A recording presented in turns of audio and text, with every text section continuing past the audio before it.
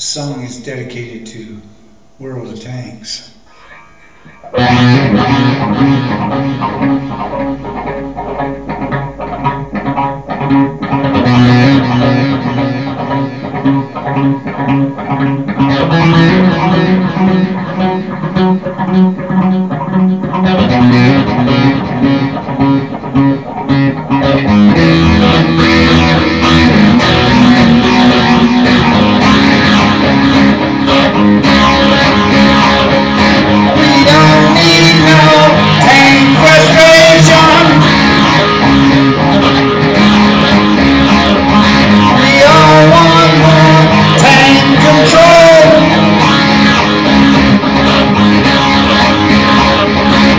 Dog